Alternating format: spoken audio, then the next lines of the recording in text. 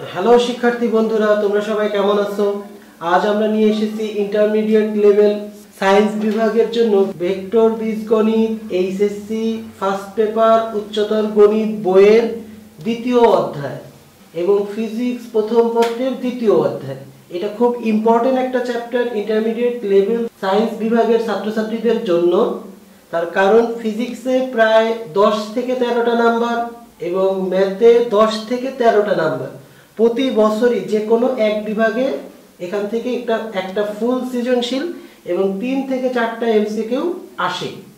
So শিক্ষার্থী বন্ধুরা, আমরা আজকে ভেক্টর ভেক্টর ভেক্টর বীজগণিতের দুই পয়েন্ট এক, দুই পয়েন্ট একের ম্যাথগুলো ধাপে ধাপে করব। ভেক্টর বীজগণিত অনেকের কাছে মানে অনেকের কাছে অনেক কঠিন লাগে, কিন্তু ভেক্টর বীজগণিত আসলেই অনেক সহজ।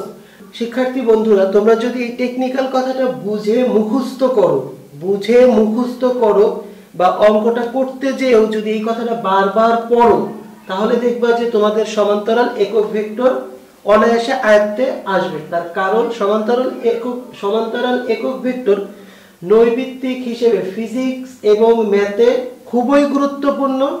আবার ম্যাথের ক নম্বর হিসেবে অনেক ইম্পর্টেন্ট একটা ম্যাথ এছাড়াও অংশক নির্ণয় করতে, অংশক বা উপাংশ নির্ণয় করতে তোমাদের অবশ্যই সমান্তরাল একক ভেক্টর জানতে হবে। তো শিক্ষার্থী বন্ধুরা, শুরু করা যাক। সমান্তরাল একক ভেক্টর। সমান্তরাল একক ভেক্টর।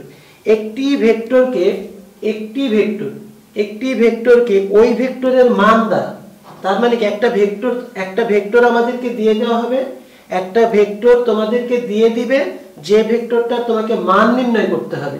তাহলে আমরা সংজ্ঞাটা কি পাইলাম টেকনিক্যাল কথাটা কি পাইলাম একটি ভেক্টরকে ওই ভেক্টরের মান দ্বারা ভাগ করলে যে ভেক্টর পাওয়া যায়, যে ভেক্টর পাওয়া যায় তাই সমান্তরাল একক ভেক্টর। যেমন একটা vector two i plus two j plus k তাহলে এই ভেক্টরের মান আমরা কীভাবে বের করব? মান অবশ্যই মডুলাস তাহলে মডুলাস সমান সমান টু আই এক্স অক্ষ বরাবর যে মান তার হোল স্কোয়ার টু জে অয় অক্ষ বরাবর যে মান তার হোল স্কোয়ার জেড অক্ষ বরাবর যে মান তার হোল স্কোয়ার তারপরের লাইন আমাদের আসলে কত?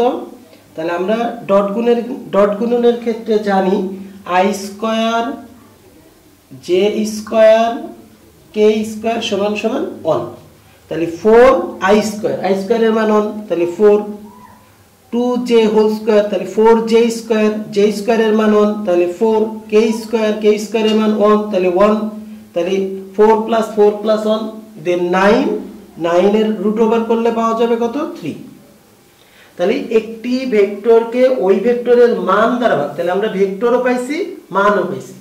অতএব এ ভেক্টর এর এ ভেক্টর এর সমান্তরাল সমান্তরাল একক সমান্তরাল একক ভেক্টর সমান সমান ভেক্টর বাই ভেক্টরের মান। তাহলে আমাদের ভেক্টর কত?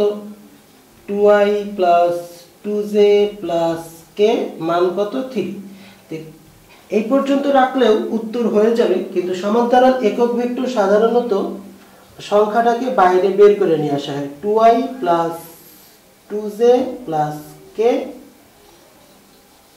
এটাই উত্তর।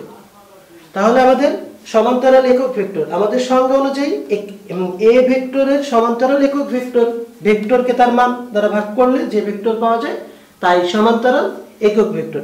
ইনশাল্লাহ তোমাদের সাথে পরের ম্যাথ নিয়ে অবশ্যই দেখা হচ্ছে। আজ এ পর্যন্তই। আল্লাহ হাফেজ।